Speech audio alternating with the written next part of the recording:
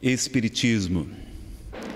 Espiritismo é uma luz gloriosa, divina e forte, que clareia toda a vida e ilumina além da morte. É uma fonte generosa de compreensão compassiva, derramando em toda parte o conforto da água viva. É o templo da caridade, em que a virtude oficia e onde a bênção da bondade é flor de eterna alegria. É árvore verde e farta nos caminhos da esperança, toda aberta em flor e fruto de verdade e de bonança. É a claridade bendita do bem que aniquila o mal. É o chamamento sublime da vida espiritual. Se buscas o Espiritismo, norteia-te em sua luz. O Espiritismo é uma escola e o Mestre amado é Jesus.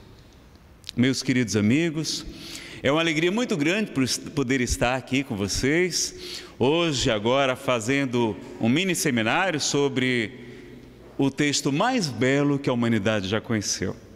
Queremos agradecer, no nome da Mônica, né, o convite do nosso irmão Roberto, lá do Centro Espírita Irmão Tomé, do nosso querido também, não é, lá da Sociedade Espírita Colatinense, não é, o Virgínio, e tantos amigos que proporcionaram, então, nós podermos estar aqui, esses momentos tão agradáveis, nessa cidade tão bela e tão acolhedora. É muita, realmente, muita satisfação, muita honra, muita alegria poder fazer novos amigos, não é conhecer aqueles que apenas eram amigos virtuais, não é? Porque agora a gente tem amigo de Facebook, amigo de Skype, não é? Amigo de e-mail, não é? Palestrante moderno tem que ter essas coisas em que pese não sobrar tempo para responder, não é? Como nós gostaríamos a tantos companheiros, não é que nos, nos convidam, que nos aceitam o convite de amizade nessas redes sociais. Nós hoje então, antes de falar sobre esse monumento da humanidade que é o Sermão do Monte, os espíritos amigos nos pediram para fazer um breve eh, apanhado sobre a chegada e a vida de Jesus de Nazaré. E eu acho que um dos textos que melhor elucida, ilustra esta questão é o, o Evangelho e Alegria, psicografado por Chico Xavier no livro Roteiro, não é? Da editora da Federação Espírita Brasileira. Vou pedir para a Verônica acompanhar aqui. Grande injustiça comete quem afirma encontrar no Evangelho a religião da tristeza e da amargura indubitavelmente, ou seja, sem dúvidas. O sacerdócio, muita vez, impregnou o horizonte cristão de nuvens sombrias, com certas etiquetas do culto exterior, mas o cristianismo, em sua essência, é a revelação da profunda alegria do céu entre as sombras da terra. A vinda do Mestre é precedida pela visitação dos anjos Maria, jubilosa, conversa com o mensageiro divino que a esclarece sobre a chegada do embaixador celestial. Nasce Jesus, na manjedoura humilde, que se deslumbra ao clarão de inesperada estrela. Tratadores rústicos são chamados por emissário espiritual, repentinamente materializado à frente deles, declarando-se portador de notícias de grande alegria para todo o povo.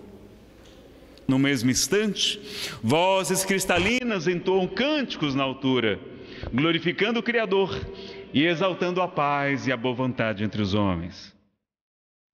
Vocês encontram no YouTube. É um grupo chamado Celtic Woman. E elas vão estar executando Jesus, a Alegria dos Homens, de Johann Sebastian Bach.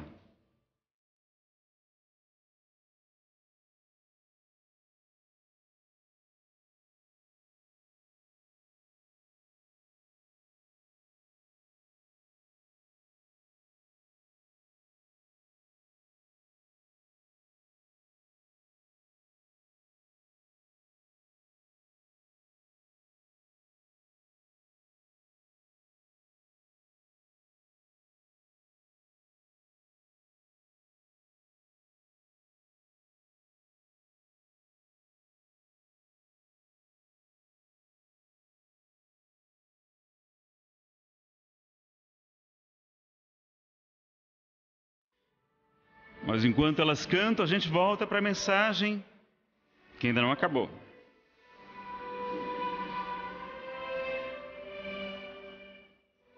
Começa a reinar o contentamento e a esperança.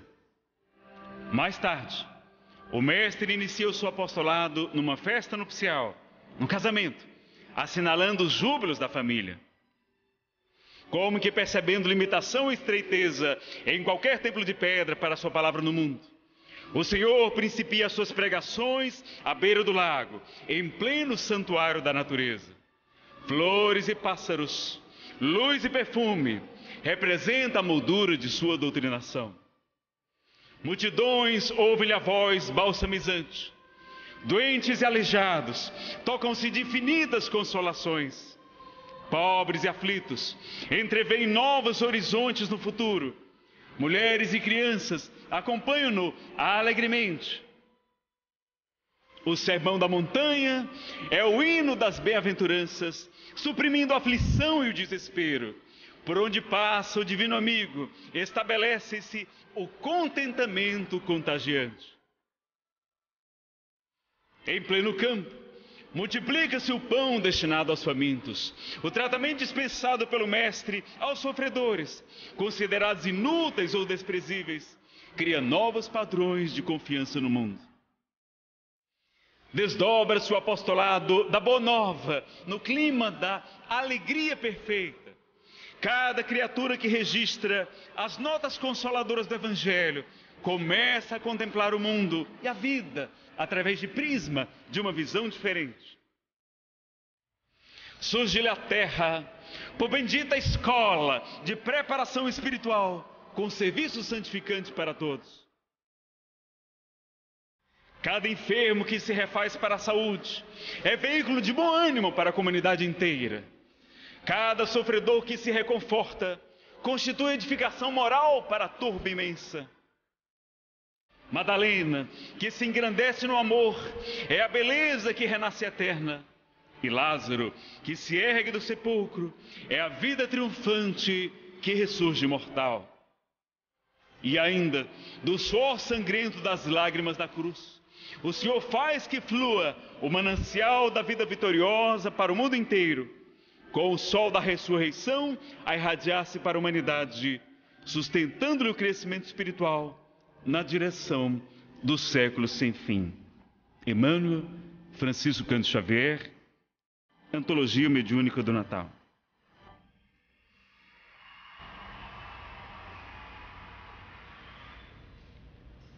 Bom, agora a gente já pode começar a falar sobre o Sermão do Monte, não é? Precisaríamos então de várias horas, vários dias para abordar, porque o Sermão do Monte não contém apenas as bem-aventuranças, meus amigos. E vai do capítulo 5 de Mateus até o final do capítulo 7. Nós vamos encontrá-lo também em uma quantidade menor no Evangelho de Lucas e alguns trechos no Evangelho de Marcos. Então ele é muito mais extenso. Eu pedi autorização não é, aos organizadores. Olha, no mini seminário de uma hora e pouco, e ainda com as perguntas, que aliás vocês poderão fazer, mas por escrito, tá certo? E só perguntas fáceis, por favor, tá? Para mim, só as fáceis. As difíceis vocês fazem também mas a gente encaminha aqui para os nossos amigos aqui do Francisco de Assis, do Jonas de Ângeles, não é isso?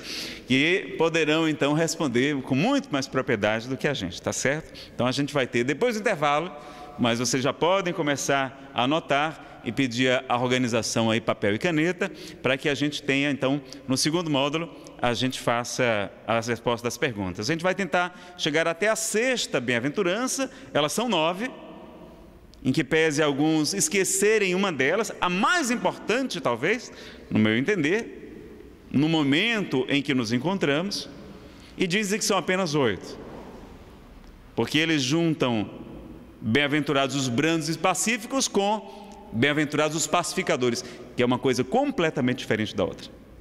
Então, em verdade, em Mateus nós encontramos nove bem-aventuranças. Nós vamos verificar então elas aqui. Fazer uma pequena introdução Aqui vocês têm uma visão do lago de Tiberíades, em Cafarnaum, que é o mesmo mar da Galileia, na verdade é um lago, não é? Onde proximamente desse local, aconteceu então, não é, em um monte, o, a declamação do poema mais belo que a humanidade já, já escutou. Vejam um comentário de alguns dos homens mais ilustres, não é, dos pensadores da humanidade. Huberto Roden, um filósofo espiritualista, vai dizer que o Sermão da Montanha é o evangelho resumido. É a alma do evangelho. É a essência do cristianismo. Então vejam a importância do tema de hoje. E Mahatma Gandhi, a grande alma, vai fazer uma declaração célebre, porque ele não era cristão, ele era hindu, o que dá mais ainda, não é credibilidade a quem faz a citação, porque não está puxando sardinha para a sua brasa, não é? E Gandhi vai dizer: o Sermão da Montanha é a mais bela página da humanidade por si só preservaria os patrimônios espirituais humanos, ainda que se perdessem os livros sagrados de todas as religiões. Então, no Sermão do Monte, que nós temos, não é, essa essência dos ensinamentos do Cristo, nós vamos ter toda essa beleza. E o Espiritismo, em O Livro dos Espíritos, nós vamos ter a informação dos espíritos nobres que no cristianismo estão todas as verdades. O que encontremos lá de erro são de origem humana. E aí Kardec pergunta: então para que o Espiritismo? Para desvelar o que antes estava encoberto. Para trazer agora claramente, não é? Não somente por parábolas, mas agora de modo claro, simples, objetivo, para que todos nós possamos compreender a mensagem de Jesus ainda com mais beleza e mais pureza. No livro Há Dois Mil Anos, Emmanuel vai trazer a narrativa de começar o mestre um sermão de beleza inconfundível. E suas palavras pareciam tocar os espíritos mais empedernidos, figurando-se que os ensinamentos ressoavam nos cantos de toda a Galileia, ecoando pelo mundo inteiro, previamente modelados para caminhar no mundo com a própria eternidade. Então, quando percebemos as falas do Cristo, verificamos que ele não falava tão somente para aqueles pescadores, para aquelas pessoas de sua época, mas suas palavras são de vida eterna. Que céus e terras passarão, mas que as suas palavras não passariam. Ele, o seu discurso é tão atual quanto antes. E aí nós compreendemos que estamos dois mil anos atrasados já poderíamos ter aprendido há dois mil anos. Ele vem nos convidando. Então nós vamos fazer uma análise, não é? Das. Opa, pulou aqui. E fugir aqui um, uns slides, mas eu vou lembrar deles. Né? Aqui nós vamos para o terceiro, mas o primeiro a gente vai verificar que é bem-aventurados os pobres de espírito, porque deles é o reino dos céus.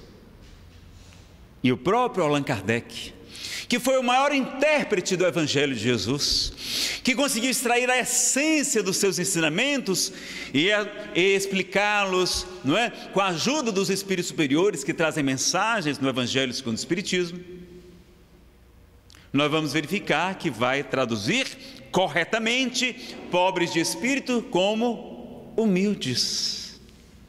Às vezes a gente fala, ah, essa pessoa não é, é um pobre espírito, não. Pobre de espírito, ou pobre em espírito, ou pobre do espírito, há muitas traduções. Significa exatamente aquela pessoa que está, como a palavra humildade, que vem de humus, solo fértil, que está pronto para receber a semente. Então a pessoa que está sedenta de conhecimentos, que não se acha, não é dona da razão, dona da verdade, não é fundamentalista, não é orgulhoso, não se soberbece. Então, a humildade vai ser justamente a primeira bem-aventurança, e não é por acaso. No Evangelho segundo o Espiritismo, nós temos lá que a humildade é a chave para muitas outras virtudes. Através da humildade, nós vamos aprender, como nós vimos ontem, a importância do conhecimento. Conhecereis a verdade, e a verdade vos libertará. E esse conhecimento precisa encontrar um coração, então, não é? Um solo fértil. A humildade. Por isso que é tão difícil a gente ensinar verdades espirituais para quem é rico, para quem é poderoso, para quem está muito apegado aos bens da matéria. Porque eles normalmente não são humildes.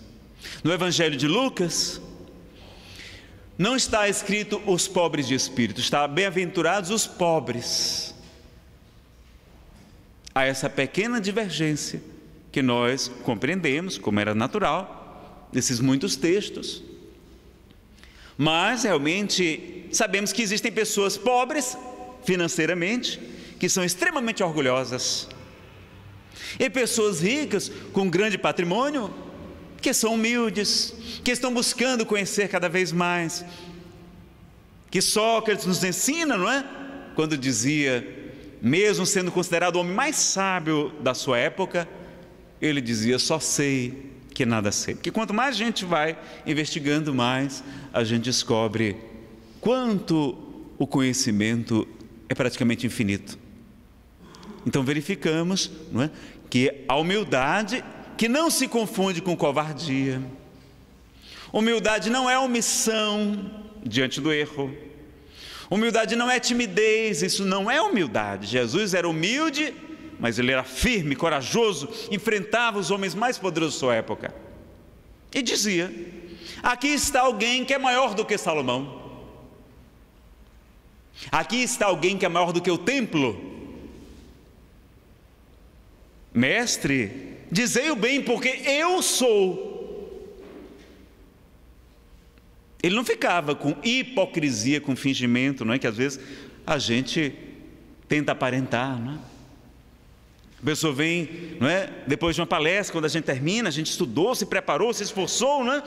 Com a doutrina espírita e com o evangelho, não tem como a palestra não ficar boa. E aí a pessoa chega depois, a gente lá suado, né?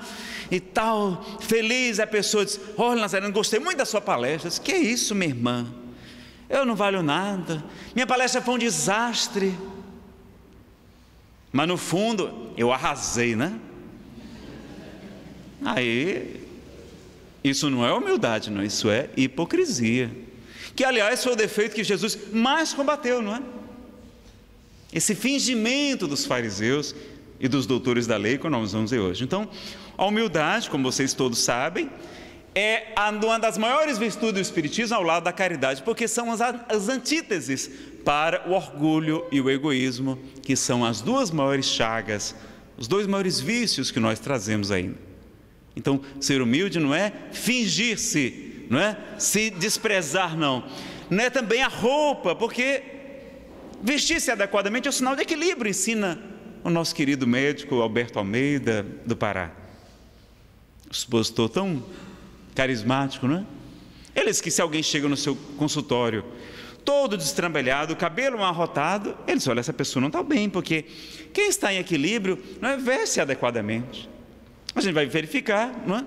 Que os grandes espíritas, inclusive, Bezerra de Menezes, as pinturas a óleo, ele está lá bem vestido, era deputado, foi vereador, não é?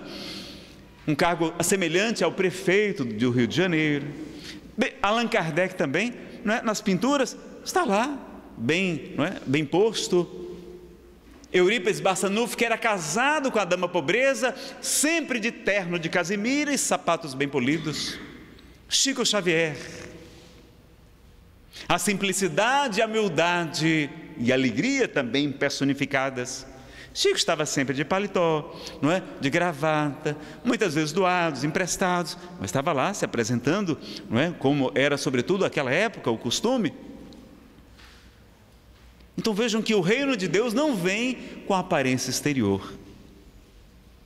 A gente começa a compreender. Há pessoas que andam de chinelas, com orgulho nas estrelas. E há pessoas é, que se vestem. Claro que a gente não vai fazer um trabalho social não é? Como vocês fazem um trabalho belíssimo aqui, os nossos nosso querido Aloysio e um, grupo de amigos realiza não é, com os jovens infratores recolhidos. Gente, não vai lá ostentando, não é? Tênis de marca, não é? é relógios, enfim, coisas que podem não é, incomodar aquelas pessoas que ainda não têm, talvez, um melhor esclarecimento. Então a gente vai tendo equilíbrio, bom senso. E Jesus não deixava de falar com os fariseus, com os doutores da lei, com os publicanos que eram riquíssimos. Zaqueu, Levi, o Mateus era coletor de impostos, e ele chama para o seu colégio apostólico. Então não é pobre propriamente. A riqueza é uma prova muito difícil, o Evangelho segundo o Espiritismo nos esclarece porque ela exacerba o nosso orgulho e o nosso egoísmo. Mas não é a riqueza, já que ela é um fruto do trabalho, o trabalho é uma lei de Deus, se ela não é conquistada desonestamente ou à custa dos outros, ela é uma bênção. Apenas é uma prova difícil, talvez mais até do que a prova da pobreza. Mas não é a riqueza, enfim, que é o mal, ok? Bom, a segunda bem-aventurança é bem-aventurados os aflitos ou os que sofrem, os que choram, os enlutados, porque nós vamos verificar que há muitas traduções diferentes. Eu até pedi para a Verônica para mostrar aqui, se possível no close. É, o Novo Testamento de Haroldo Dutra Dias, a tradução direta do grego, do, da, do Conselho Espírita Internacional e agora pela Federação Espírita Brasileira, vai mostrar uma série de possíveis traduções de cada passagem. Por isso que ele é volumoso. Foi relançado agora, estava esgotado, mas vocês podem depois procurar. Então ele vai relacionar uma série de possíveis traduções diretamente do grego, não é uma tradução espírita, tem pastores, tem católicos, tem judeus estudando essas traduções, ajudando, corrigindo, não é? Fazendo sugestões. E nós vamos verificar então que há muitas divergências, mas a gente vai compreender que ele está falando dos aflitos, dos que sofrem, dos que choram. Só que vamos analisar essa questão, por que, que nós sofremos? Vamos analisar uma mensagem do Espírito Albino Teixeira, por Chico Xavier, do livro Passos da Vida.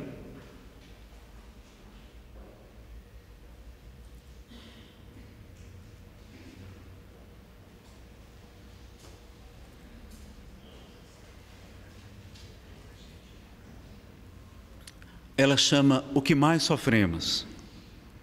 O que mais sofremos no mundo não é a dificuldade, é o desânimo em superá-la. Então não é a dificuldade que atrapalha a gente, não, é o desânimo. Não é a aprovação, é o desespero diante do sofrimento. Isso é que nos faz sofrer. Não é a doença, mas é o pavor de recebê-la, de ficarmos enfermos nós ou nossos familiares. Não é o parente infeliz, doente, alcoólatra, não é? Toxicômano. É a mágoa de tê-lo na equipe familiar. Quantas mulheres que se separam não é porque o marido é alcoólatra, não, é porque ela não aguenta escutar as críticas das vizinhas, da sua família, dizendo que ela é casada com um alcoólatra. Então a gente reconhece os, os graves problemas, mas o que mais faz a gente sofrer é a mágoa, né? É, é termos o nosso orgulho ferido de termos alguém assim em nossa família. O que mais sofremos não é o fracasso, é a teimosia de não reconhecer os próprios erros. Não é ingratidão. O que nos faz sofrer é a incapacidade de amar sem egoísmo. O problema é que a gente ama egoisticamente, né? a gente dá querendo receber algo em troca. Com exceção das mães, não é? Que tem um amor quase incondicional e às vezes exagerado, apego também, também é uma prova para a mãe trabalhar o desapego, mas é a gente amar sem querer nada em troca. Normalmente estamos buscando sempre algo em troca, nem que seja o reconhecimento. O que mais nos faz sofrer não é a própria pequenez nossa, não é a revolta diante ou contra a superioridade dos outros. Não é a injúria, é o orgulho ferido. Porque quando alguém fala mal da gente, a gente está em paz, a gente não tem orgulho, a gente é humilde, não nos incomoda. O que mais nos, mais nos faz sofrer não é a tentação, é a volúpia, não é? é o desejo de experimentar-lhe os alvitres. Não é a velhice do corpo, não é ficar velho que incomoda a gente, não. É a paixão pelas aparências exteriores, não é? A gente não quer envelhecer, não é? Isso é que nos faz sofrer.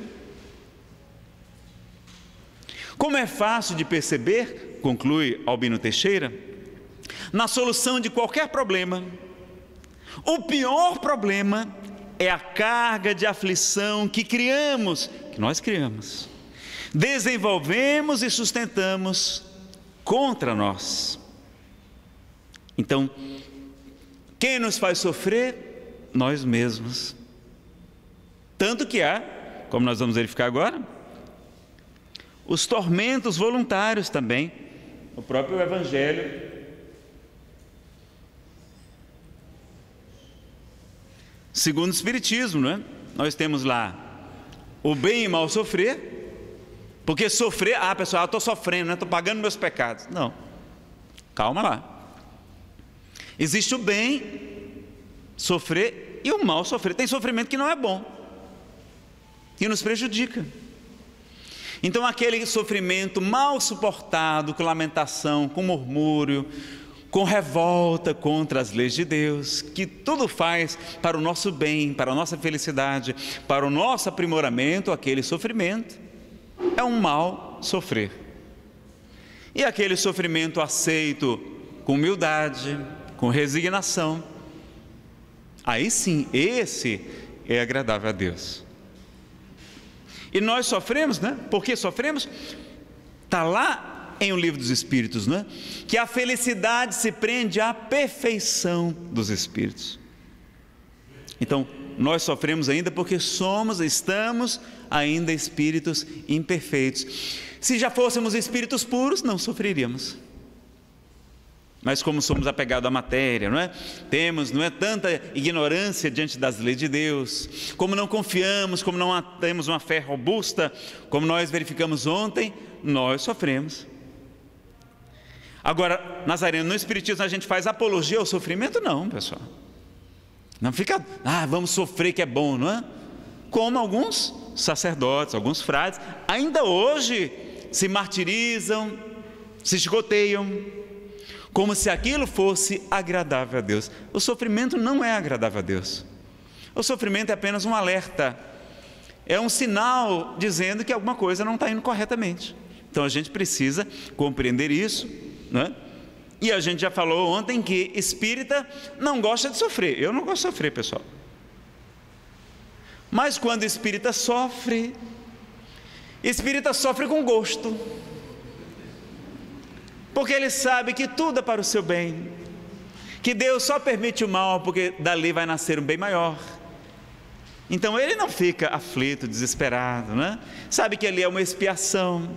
Se traz a doença, por exemplo, da depressão, ele sabe, olha, isso aqui pode ser uma prova, mas se for minha expiação, eu vou suportar com carinho, com resignação, com tranquilidade, com fé no futuro, com a consciência tranquila.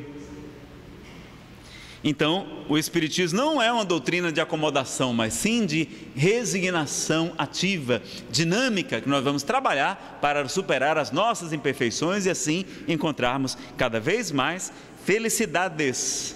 É? Porque a felicidade no mundo de expiação e provas, ela é relativa. Nós não podemos ser completamente felizes ainda no mundo tão atrasado como o nosso. É claro que ele está avançando à medida que nós avançarmos para a condição de mundo de regeneração e há os tormentos voluntários, ou seja, provas voluntárias que a gente mesmo cria para nós, como nós vimos na mensagem de Albino Teixeira, algumas delas. O Evangelho segundo o Espiritismo traz uma página belíssima sobre isso. Que nós aumentamos essa carga de sofrimento desnecessariamente. Então vale a pena a gente deixar como dever de casa aí os tormentos voluntários. E Nazareno, diante do sofrimento, meus amigos dizem que Chico Xavier teve muitas dificuldades, desafios. Porque espírita não tem problema, não é? Espírita tem desafios evolutivos. Quando vocês estiverem com problemas, você diz assim: olha, não, eu tenho um desafio evolutivo para resolver. E aí Chico estava diante de um desafio muito grande e disse: Emmanuel, peça a Nossa Senhora para que ela me mande alguma mensagem, algum conselho.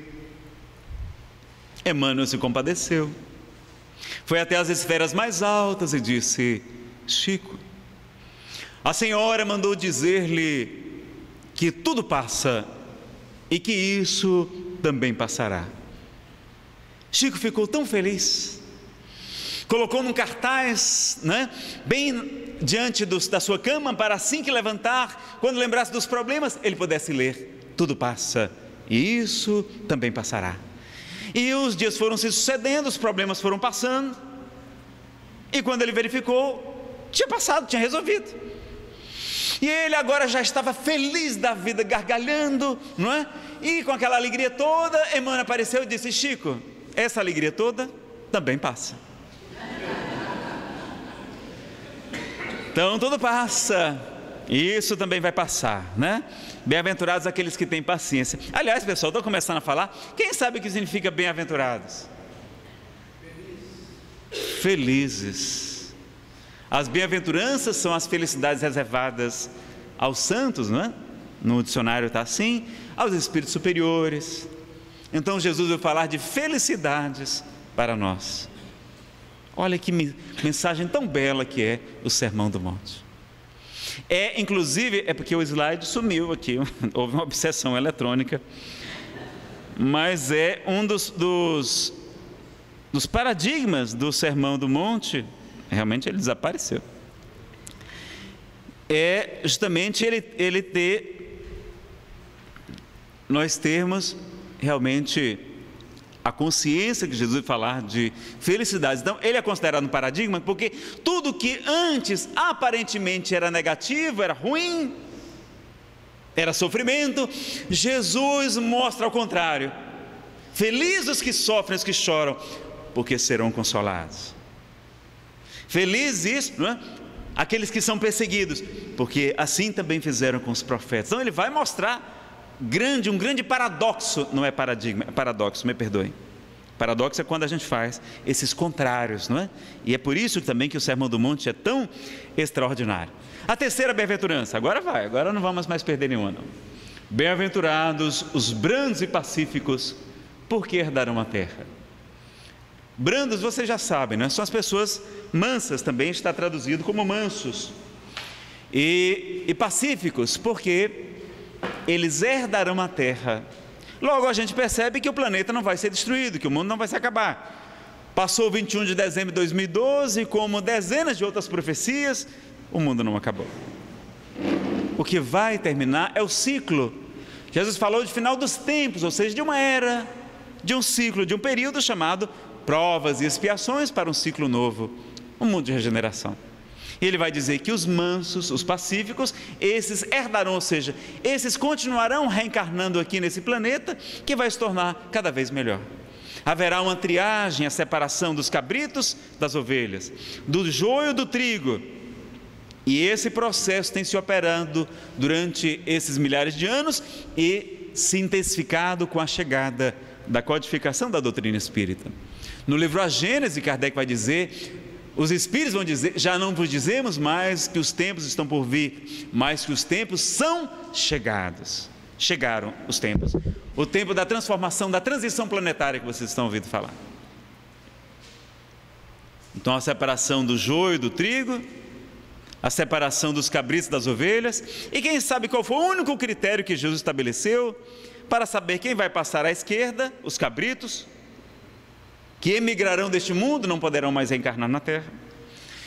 Daqueles outros que passarão à sua direita, as ovelhas, os benditos de meu Pai. Ele só pediu uma coisa, quem sabe? Estou falando com os encarnados. Amar uns aos outros? Não. Hã? Ser fiel a esposa, então, e muita gente não ia se salvar, né? Amar a Deus sobre todas as coisas. Pronto. Uma alma se salvou. Pessoal, qual é a coisa mais importante que tem na doutrina espírita? Qual é a coisa mais importante da doutrina? A maior bandeira da doutrina? Caridade. E lá no Evangelho segundo o Espírito está lá, o de que é preciso o Espírito para ser salvo? E nós vamos analisar, não é? Traz a parábola do bom samaritano, porque remete ao que Jesus nos disse. Eu tive fome e tu me deste de comer. Eu tive sede e tu me deste de beber. Eu estava nu e tu me vestiste. Eu estive preso ou enfermo e tu foste me visitar. Eu estava peregrino, sem teto e tu me hospedaste. Então Jesus faz da caridade, ou seja, a ação do bem, o único critério para quem vai passar à esquerda. Ele não pediu para ser batizado, para virar santo antes da hora. Não, ele sabe que a gente não dá conta disso.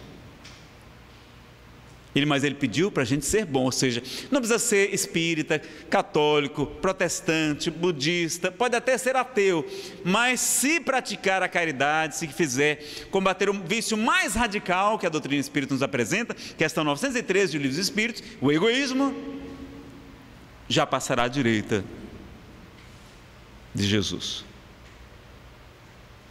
Então, esses espíritos brandos e pacíficos é, continuarão reencarnando aqui e, claro, aqueles que fazem a caridade. A caridade, como a entendia Jesus na questão 886 do Livro dos Espíritos, nós vamos verificar também que era o perdão das ofensas, a benevolência para com todos e a indulgência para com as imperfeições alheias. Vamos ver o que, é que o Sermão do Monte nos fala sobre esse assunto. A quarta bem-aventurança. Bem-aventurados os que têm fome e sede de justiça porque serão saciados.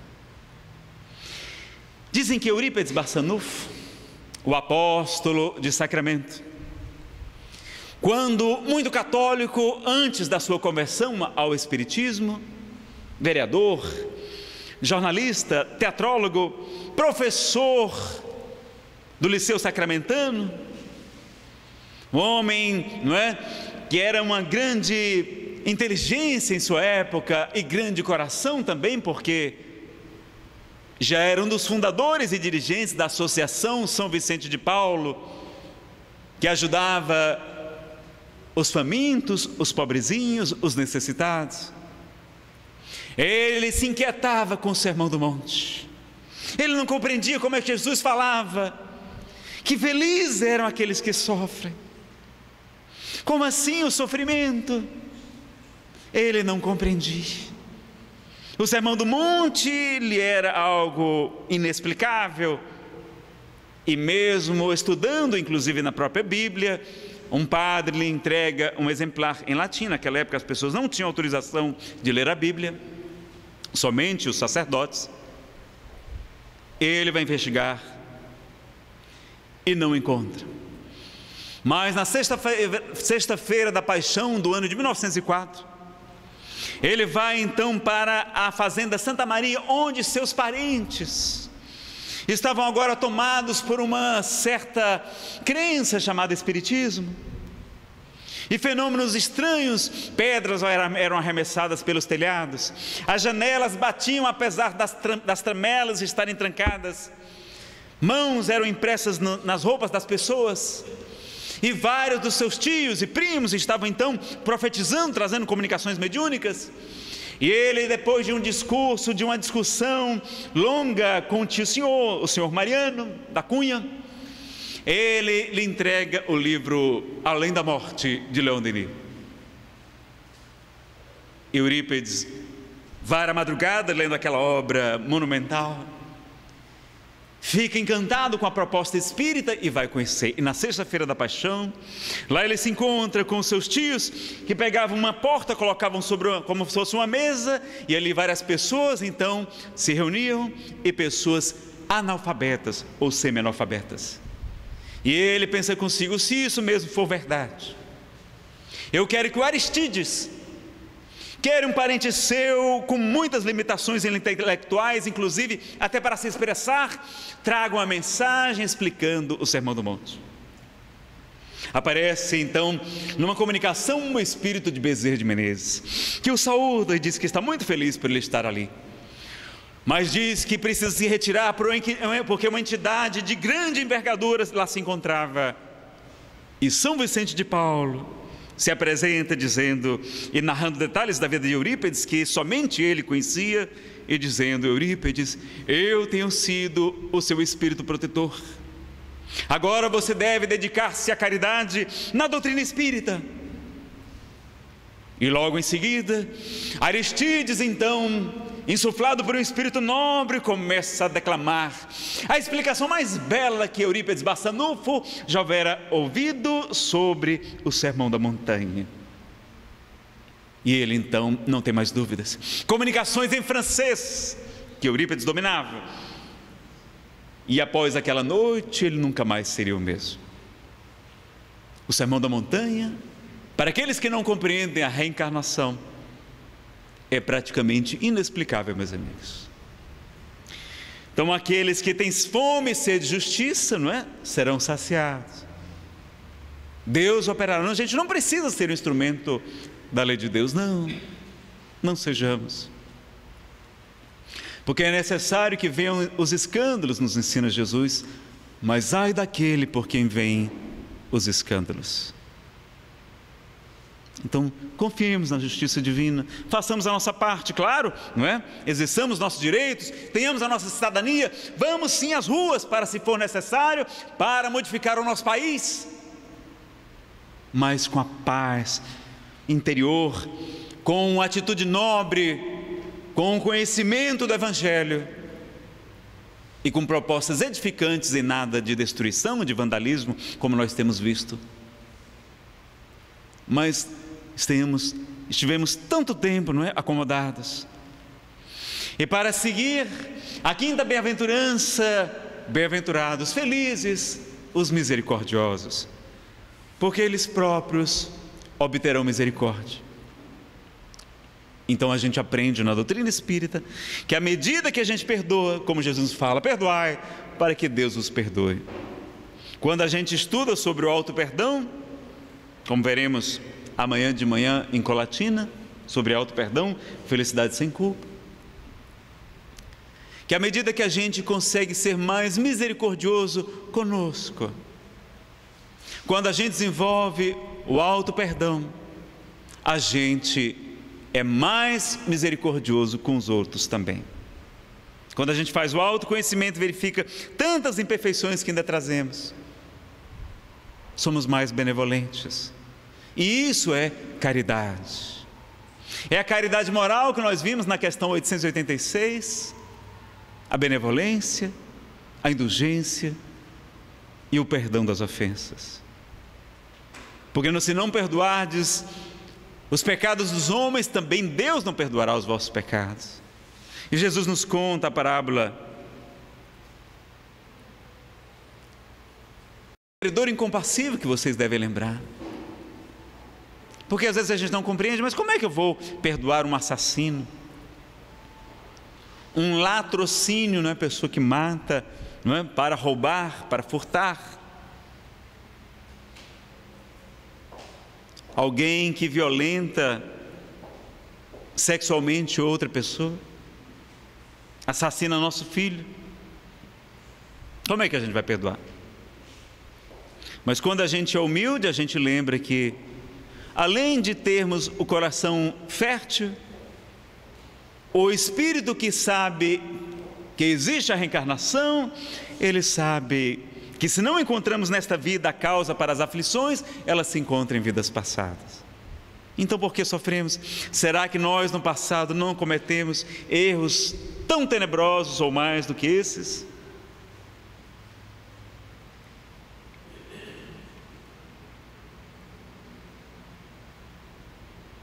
Quem fomos nós, meus amigos? Hoje nós temos um verniz de civilização. Mas nós éramos no passado, e basta ver todas as nações, as civilizações, éramos guerreiros, matávamos, destruíamos, ateávamos fogo, não somente os homens, as mulheres, vendíamos as crianças como escravas, violentávamos as moças,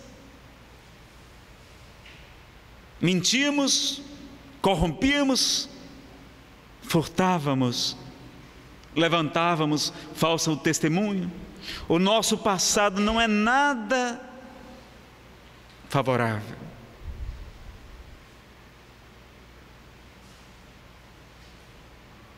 Quantos anos de cruzadas, nós que já tínhamos o Evangelho de Jesus. Quantos séculos, né? E também de inquisição, torturando, matando, queimando. Quantos de nós mesmos não estávamos lá crucificando os primeiros cristãos?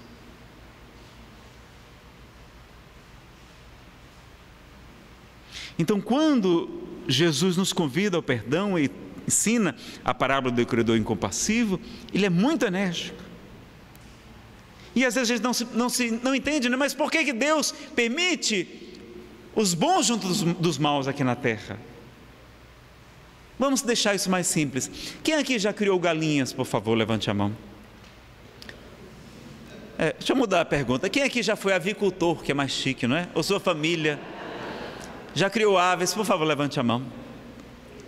Vocês deixavam as raposas junto das galinhas? Não, não dá certo não, não é? Realmente a raposa junto de galinha não dá certo. E por que, que Deus permite os bons junto dos maus neste mesmo planeta? Não era mais fácil colocar os maus em um planeta e os bons em outro? Era, não é?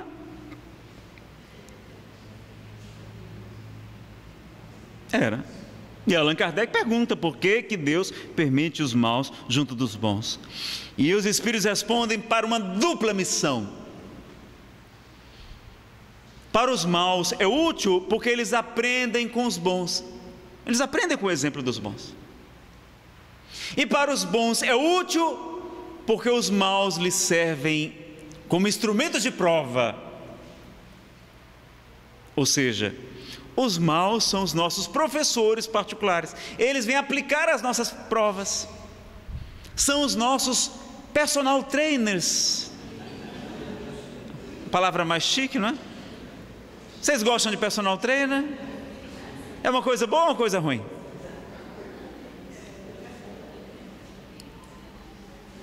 É uma coisa ótima, né? É aquele profissional de atividade de educação física, normalmente, que chega na nossa casa lá, bate assim, seis horas da manhã. Acorda, Nazareno. Aí bota a gente para correr, bota a gente para nadar, bota a gente para fazer hidroginástica, não sei o que, dá para musculação, não é? Chega na hora do almoço, ele vai fiscalizar a nossa comida. Olha que atrevido. E aí a gente pega o prato, só tem folha. Alguma coisinha grelhada. E antigamente, quando era mais barato, tinha tomate. Agora não, tiraram o tomate. Aí a gente come aquela coisa ali meio sem gosto, né? E tal. Aí fica pensando, não, mas deve ter uma sobremesazinha, não é? Qual é a sobremesa? Gelatina diet. É para lascar mesmo com a gente. Personal treino é coisa boa ou coisa ruim? É uma coisa ótima. Que a gente vai ficar mais magro, sarado vai melhorar o colesterol, a pressão alta, diabetes, né? A depressão, tudo melhora, arruma até mais emprego, melhora a autoestima, melhora tudo.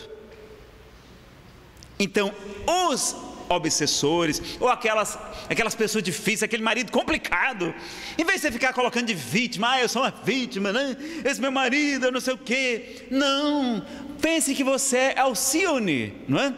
é no livro Renúncia, Pense que você é ela que veio da constelação de Sírios para ajudar um cabra que não vale nada.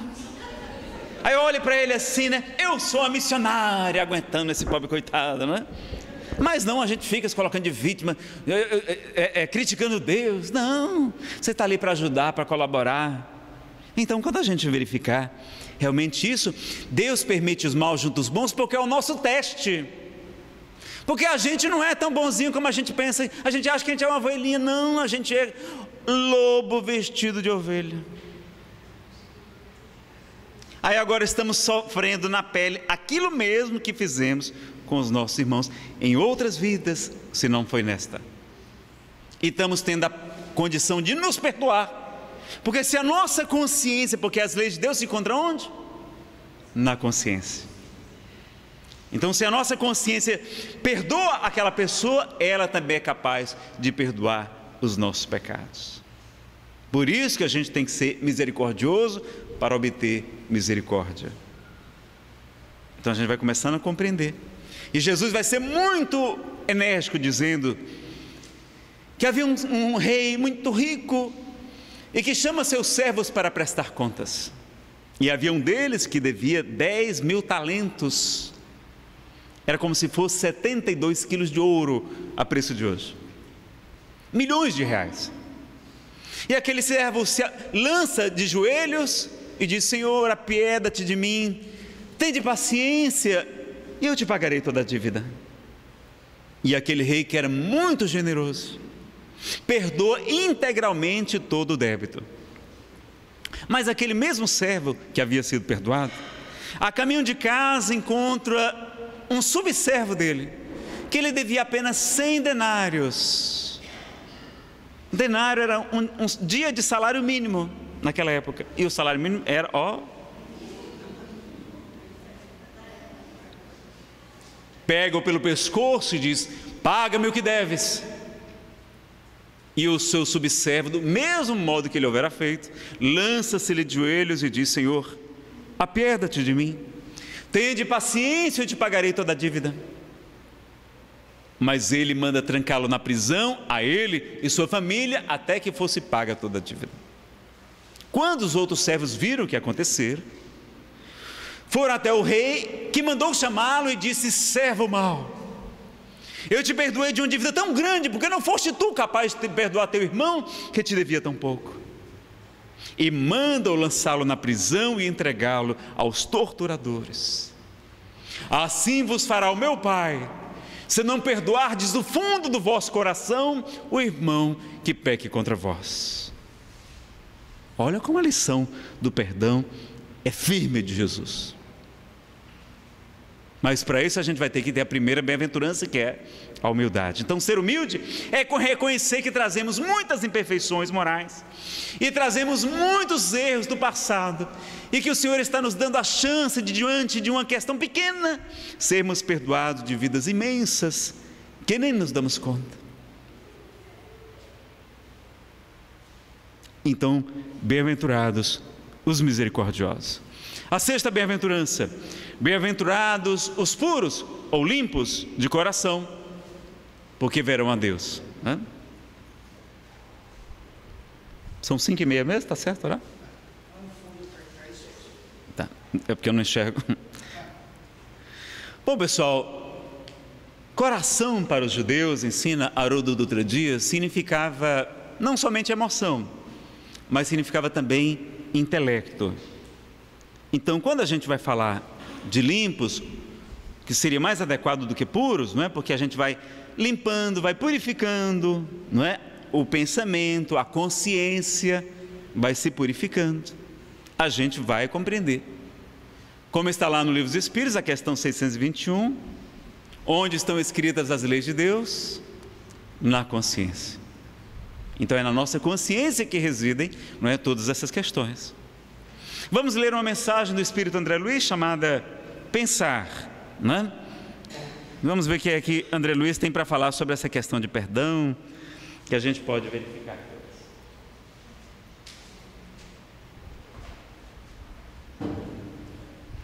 Do livro Respostas à Vida, pela psicografia de Francisco Cândido Xavier. O pensamento é a nossa capacidade criativa em ação em qualquer tempo, é muito importante não nos esquecermos disso. A ideia forma a condição, a condição produz o efeito, o efeito cria o destino. A sua vida será sempre o que você esteja mentalizando constantemente. Em razão disso, qualquer mudança real em seus caminhos virá unicamente da mudança de seus pensamentos. Imagine a sua existência como deseja deva ser, E trabalhando nessa linha de ideias, observará que o tempo lhe trará as realizações esperadas. As leis do destino carrearão, não é? trarão de volta a você tudo aquilo que você pense. Olha a importância do pensamento. Nesta verdade encontramos tudo que se relaciona conosco, tanto no que se refere ao bem quanto ao mal. Observe e verificará que você mesmo atraiu para o seu campo de influência tudo que você possui, tudo aquilo que faz parte do seu dia a dia.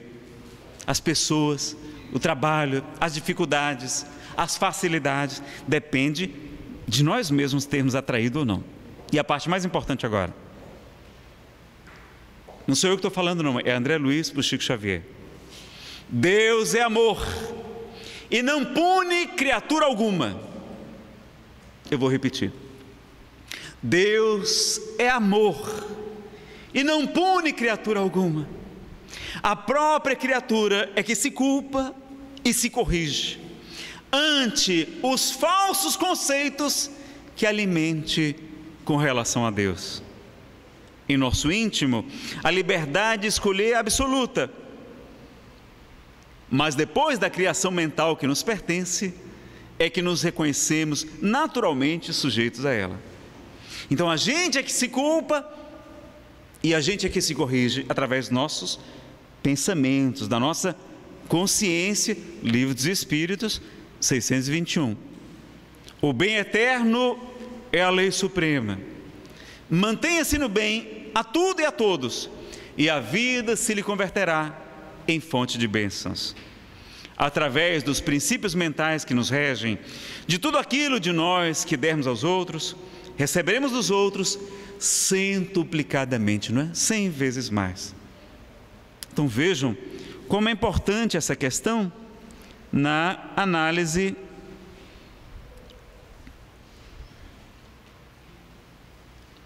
na análise dos limpos de coração.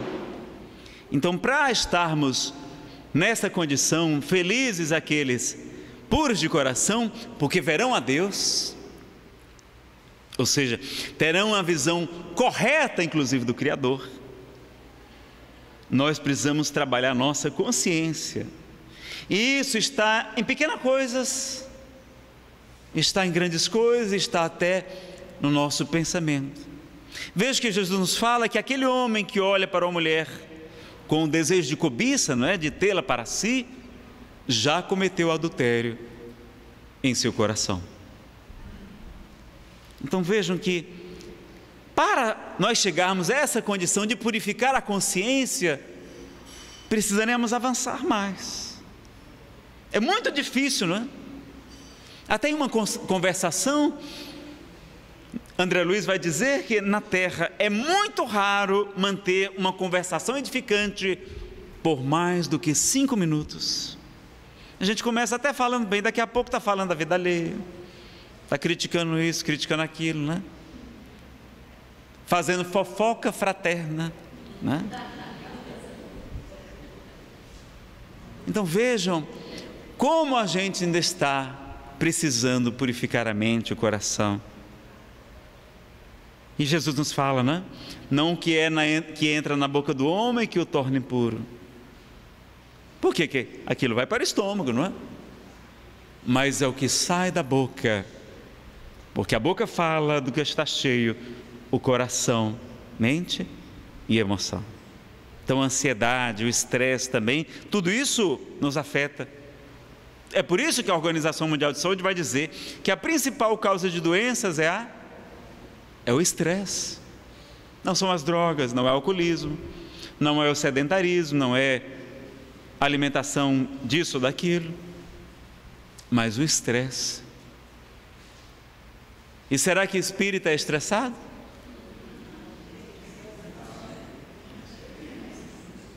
Vocês conhecem algum espírito ansioso?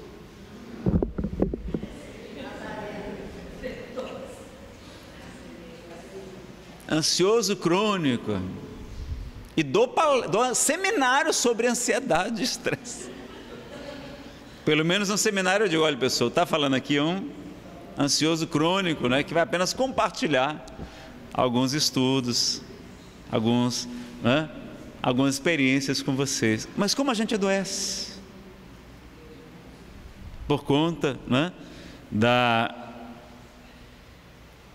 da questão da mente. E a gente está tão aflito, tão ocupado, né? distraído com os bens da terra, como está lá no Apocalipse. No final dos tempos, muitos estarão distraídos. Então a gente vai verificando, né? Eu, todas essas questões, esses detalhes. E na questão da ansiedade, Jesus foi tão claro conosco. Não vos inquieteis com o dia de amanhã. O dia de amanhã cuidará de si mesmo. A cada dia já basta a sua aflição. Não vos inquieteis com que de comer ou de vestir. Não é o corpo muito mais do que a roupa e a vida muito mais do que o alimento? E qual de vós, com a vossa preocupação, é capaz de aumentar a sua vida em uma hora ou a sua estatura em um côvado? Olhai as aves dos céus, elas não plantam, não semeiam, não colhem, e eu vos digo em verdade que o vosso Pai provê seu alimento a cada dia. Não sois vós muito mais do que os pássaros, homens de pouca fé. Olhai os lírios do campo, eles não fiam, eles não tecem. E eu vos digo em verdade que nem mesmo Salomão, em toda a sua glória, em todo o seu esplendor, jamais se vestiu como um deles. Se o Pai veste assim a erva, que hoje nasce e amanhã mesmo será lançada ao fogo, quanto mais a vós, homens de pouca fé. Pedi e obtereis, bater abrir-se-vos-á. Tudo aquilo que pedirdes, com sinceridade, em meu nome, vosso Pai atenderá. E as pessoas não compreendem. Nazareno, mas Jesus não falou que se a gente pedisse, ele dava, que se bater a porta ia abrir.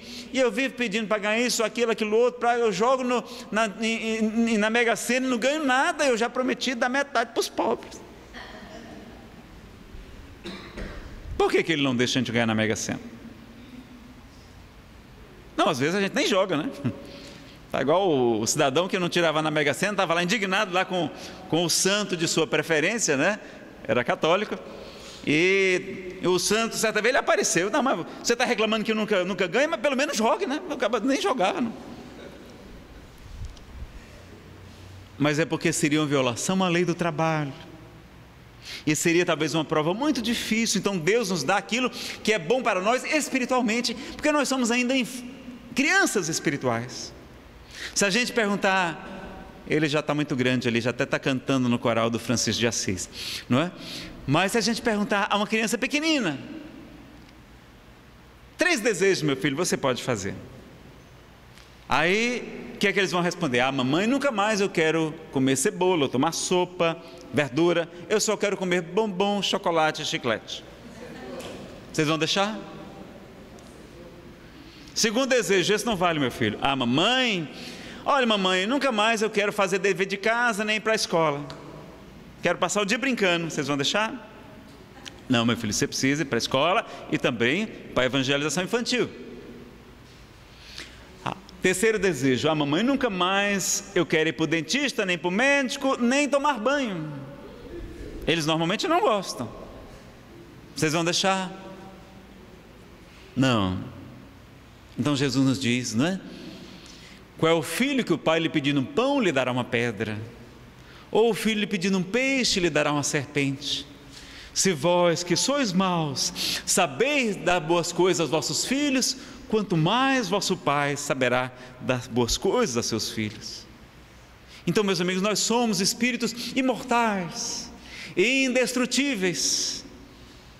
Nós somos como super-homens Está nas telas do cinema, não? Já chegou? Não sei, mas está chegando. E não existe a criptonita. Só existe uma criptonita para a gente. Está lá no livro Jesus no Lar, de Neo Lúcio. Era um trabalhador espírita dedicado, junto com sua família. E os espíritos das trevas investiam com todas as forças para demovê-los. E eles resistiam a tudo, à prova da, da pobreza. Eles se fortaleceram ainda mais na fé e na coragem. A prova da doença, eles suportaram com resignação e coragem. A prova da calúnia, da injúria, e as provas sucederam, e eles cada vez mais fortalecidos no amor a Deus e na fé e na esperança. Mas, quando um dos espíritos maus começa a insuflar no chefe da família o desânimo, aquela humildade hipócrita, não é? Que não é verdadeira. Quem você pensa que é para estar tá falando de Jesus? Quem é você? Você não tem defeito não para estar tá falando tudo isso? Começou a estimular-lhe o desânimo, o desmerecimento, a falta de amor próprio, porque amar ao próximo, como assim? A gente tem que se amar também. E finalmente o trabalhador cedeu às orientações do mal. Então a única criptonita para os super-homens e os super-moças é esse desânimo, é a falta de fé, a falta de coragem, que nós vimos ontem, como fortalecer através do estudo. Né? Então Jesus critica os doutores da lei, o maior defeito que ele vai criticar justamente foi a hipocrisia, não é? Esse fingimento, porque gerava o quê? Sentimento de culpa para as pessoas. Eles estabeleciam padrões muito elevados que as pessoas não davam conta de realizar muitos rituais de purificação. Pousavam de santos quando não eram. Então Jesus vai dizer: os fariseus, doutores da lei, sentam no, no trono de Moisés. Por isso vocês devem obedecê-los. Fazei o que eles dizem, mas não façais o que eles pregam, o que eles fazem, porque eles não praticam o que eles pregam. Os fariseus, doutores da lei, batem a porta do reino dos céus no rosto dos homens, mas eles próprios não entram no reino dos céus. Eles colocam fardos demasiadamente pesados nos ombros das pessoas, mas eles próprios não levantam um dedo sequer. Então eles colocavam imposições, rituais, aparências exteriores que não condiziam, Jesus chamava de túmulos caiados, brancos por fora, mas cheios de podridão e de iniquidades por dentro. Até as meretrizes, as... Chico não chamava prostitutas, Chico chamava as nossas irmãs, que comercializam as energias do sexo. Né? Então, até as nossas irmãs que comercializam a energia do sexo vos precederão no reino dos céus. Porque eles geravam sentimento de culpa. E onde é que estão as leis de Deus? Na consciência. Quantos desencarnavam sem condições, sem essa tranquilidade, sem essa consciência tranquila, sem o coração puro, por conta da moral rígida, inacessível ainda, que os fariseus doutores da lei impunham. E Jesus nos convidava à espontaneidade e à naturalidade. Deixai vir a mim as criancinhas e não as impeçais.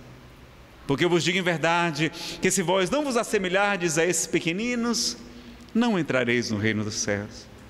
Então a espontaneidade, a simplicidade, a sinceridade. Ele não pediu para a gente ser anjo antes do tempo, foi o que ele pediu. Todo mundo agora, pelo amor de Deus. Caridade, pessoal. Vocês estão cansados, né? Não? Vamos fazer porque eu perguntei, ninguém falou nada. Foi o que ele pediu? Caridade. A caridade material e os espíritos complementam a caridade moral, sobretudo a caridade do perdão. Então, nós vamos verificando tudo isso. E antes de nós irmos para o nosso intervalo, eu gostaria de mostrar um homem que exemplificou quase todas essas bem-aventuranças. Um homem e uma mulher vocês encontram esse DVD na Paulinas Editora. Aqui é apenas o sermão Cântico das Criaturas. de Clara e Francisco de Assis, na verdade.